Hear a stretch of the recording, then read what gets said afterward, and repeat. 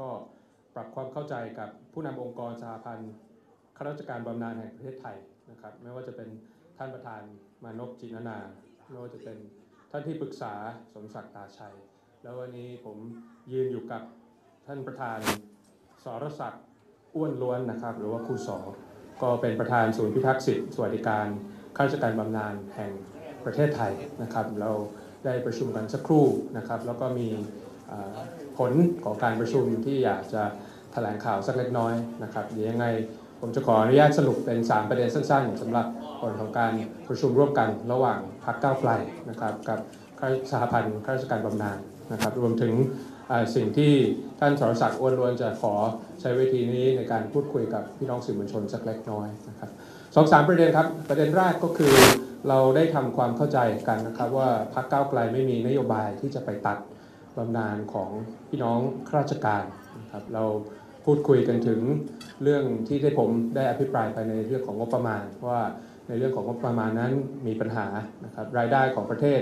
จะผันผวนแล้วก็ลดลงไปเรื่อย ๆ แต่ว่ารายจ่ายเนี่ยจะคงที่นะครับแล้วก็ในเรื่องอธิบายให้พี่น้องข้าราชการบำนาญฟังถึงไขมันที่อยู่ในระบบ ราชการต่างๆ ไม่ว่าจะเป็นการจัดซื้อจัดจ้างอาวุธนะครับ ไม่ว่าจะเป็นเรื่องเกี่ยวกับโครงการต่างๆ ที่ไม่ได้สร้างประโยชน์ให้กับพี่น้องประชาชน แล้วเราก็ยังเห็นตรงกันด้วยถึงถึงสภาพเศรษฐกิจตรงนี้ที่เราจะเป็นที่จะต้องต่อสู้กับสังคมสูงวัยนะครับ ไม่ว่าจะเป็นอาชีพใดก็ตาม ไม่ว่าจะเป็นข้าราชการหรือพี่น้องประชาชนที่ต้องทำรัฐสวัสดิการที่จะดูแลคนชรา แล้วก็ดูแลเด็กแรกเกิด แล้วก็ดูแลเรื่องของการศึกษาด้วยนะครับ ซึ่งก็ได้ทำความเข้าใจตรงกันว่าสิ่งที่ผมได้อภิปรายไปนั้น ไม่ได้พาดพิงถึงข้าราชการบำนาญหรือว่าดูถูกข้าราชการแต่อย่างใดตัวผมเองก็เคยเป็นข้าราชการมาก่อนนะครับคุณลุงผมก็เป็นข้าราชการบำนาญรองหัวหน้าสุพิสารพักดีนรนาที่ยืนอยู่ข้างผม ท่านอาจารย์สุรวาทที่ตอนนี้น่าจะอภิปรายอยู่ ก็เป็นข้าราชการบำนาญนะครับก็จะใช้เวทีตรงนี้ในการตอกย้ำอีกทีหนึ่งยืนยันอีกทีว่าเราเข้าใจการทำงานของข้าราชการ แล้วก็เข้าใจถึงสิทธิหรือถึงประโยชน์ของข้าราชการบำนาญอย่างแน่นอนนะครับ ประเด็นที่ 3 ที่ได้พูดกันก็คงจะแลกเปลี่ยนกับเรื่องของสภาพเศรษฐกิจนะครับ ท่านประธานมานพก็ได้พูดถึงความสัมพันธ์ของการศึกษาในประเทศไทยต่อการปฏิรูป ไม่ว่าจะเป็นเรื่องภาคการเกษตร ไม่ว่าจะเป็นภาคอุตสาหกรรม ไม่ว่าจะเป็นภาคบริการที่เราต้องหาใช้กระดุการศึกษานี่เหมือนเป็นกระดุมเม็ดแรกในการที่จะพัฒนาประเทศต่อไปนะครับเราจะเป็นที่จะต้องทำให้เศรษฐกิจเติบโต และมีการกระจายเพื่อที่จะลดความเหลื่อมล้ำ ให้ประเทศไทยยังสามารถที่จะมีรายได้ที่เยอะขึ้นสู้กับรายจ่ายที่ผันผวนที่ขึ้นอยู่ตลอดเวลาทำให้เราไม่จำเป็นที่จะต้องไปกู้ยืมในอนาคตในการที่จะบริหารประเทศ ทั้งหมดนี้ก็คงจะเป็นสามประเด็นสั้นๆ หลังการประชุมของเรา อันที่หนึ่งพรรคก้าวไกลไม่มีนโยบายนะครับตัดลดบำนาญของข้าราชการแน่นอนนะครับอันที่สองพรรคก้าวไกลไม่เคยพาดพิงถึงข้าราชการหรือข้าราชการบำนาญในแง่ลบ ที่พูดถึงหมายถึงกระบวนการในการจัดการงบประมาณของประเทศ ที่มีรายได้ลดลง รายจ่ายผันผวน แล้วก็มีโอกาสที่จะต้องกู้ยืมอีกเยอะเนื่องจากว่ามีไขมันอยู่ในระบบงบประมาณพรรคก้าไกลก็ยังยืนยันที่จะแก้ไขตรงนี้นะครับอันที่สามที่เราพูดคุยกันก็คือเห็นตรงกันว่าอ่าเรื่องของการศึกษาเหมือนเป็นกระดุมเม็ดแรกในการที่เราจะปฏิรูประบบเศรษฐกิจเข้าโครงเศรษฐกิจของเรานะครับไม่ว่าจะเป็นเรื่องของภาคเกษตร ไม่ว่าจะเป็นภาค อุตสาหกรรม แล้วก็เป็นภาคบริการนะครับสำหรับผมนี่ก็คงเป็นเป็นสามประเด็นสั้น ๆ ที่เราเห็นร่วมกันในการประชุมเมื่อชั่วโมงหนึ่งที่ผ่านมา ยังไงผมอยากจะขออนุญาตให้ท่านประธานสรศักดิ์ได้มีโอกาสได้พูดคุยกับประชาชนผ่านพี่น้องสื่อมวลชนสักเล็กน้อยครับขอเรียนเชิญท่านอาจารย์สรศักดิ์ครับ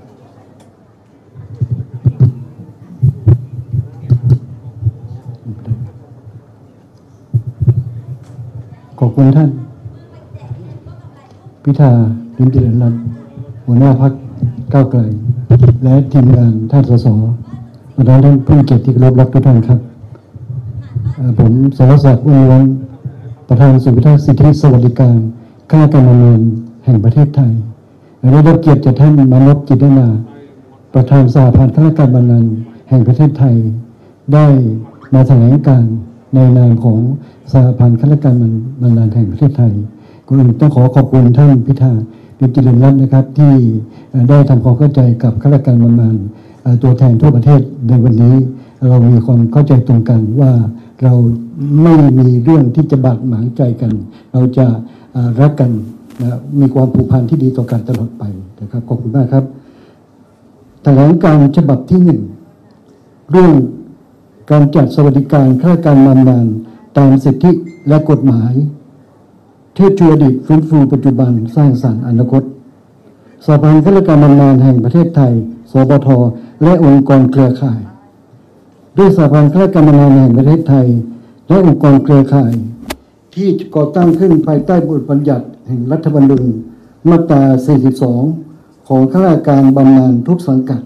ประกอบด้วยข้าราชการบำนาญภาคเหนือ 16 จังหวัดข้าราชการบำนาญภาคตะวันออกเฉียงเหนือ 20 จังหวัดาพันธ์ข้าราชการบำนาญภาคกลาง 27 จังหวัด สาพันธ์ข้าราชการบำนาญภาคใต้ 14 จังหวัด และศูนย์พิทักษ์สิทธิสวัสดิการข้าราชการบำนาญแห่งประเทศไทย โดยทุกองค์กรเครือข่ายมีวัตถุประสงค์ ร่วมกันที่จะรณรงค์ไว้ซึ่งเกียรติและศักดิ์ศรีของข้าราชการไทยทุกคน ให้ได้รับเกียรติสวัสดิการสวัสดิภาพที่มั่นคงยั่งยืน ภายหลังจากได้อุทิศชีวิต เสียสละอดทนร่วมกันสร้างบ้านเมืองที่สงบสุขร่มเย็นร่วมกับรัฐบาล ประชาชนและองค์กรภาคประชาสังคมทุกองค์กรข้าราชการบำนาญจึงเป็นค่าของแผ่นดินจนกระทั่งอายุเกษียณในวัย 60 ปีสหพันธ์ข้าราชการบำนาญแห่งประเทศไทย และองค์กรเครือข่ายขอนำเรียน ข้อเรียกร้องเสนอท่านประธานรัฐสภา ประธานวุฒิสภา ท่านหัวหน้าพักการเมืองทุกพักและคณะสมาชิกสภาผู้แทนราษฎร วุฒิสภา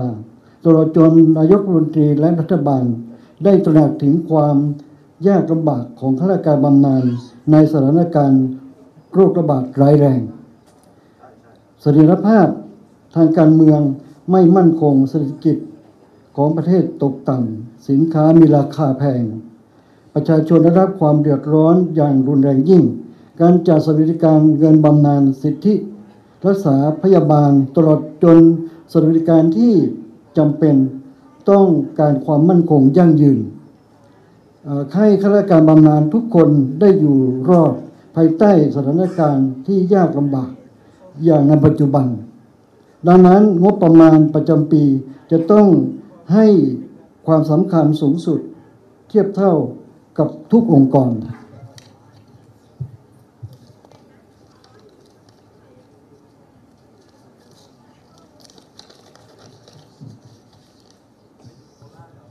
เรามีข้อเสนอต่อทุกฝ่ายดังนี้ 1. การจัดสรรงบประมาณประจำปี ต้องคุ้มครองสิทธิ ผลประโยชน์ของข้าราชการบำนาญภายใต้หลักกฎหมาย การตัดงบประมาณสำหรับเงินบำนาญต้องไม่มีทั้งในรัฐบาลนี้ และรัฐบาลที่จะมีมาในอนาคต 2. ข้าราชการบำนาญ ทุกคนทุกสังกัดได้ที่ตนเสียสละให้กับบ้านเมืองมาอย่างยาวนาน ยอมรับใช้ประชาชนตลอดชีวิต ถือว่าเป็นค่าของแผ่นดินอย่างแท้จริง จะต้องได้รับการดูแลอย่างมีเกียรติและศักดิ์ศรี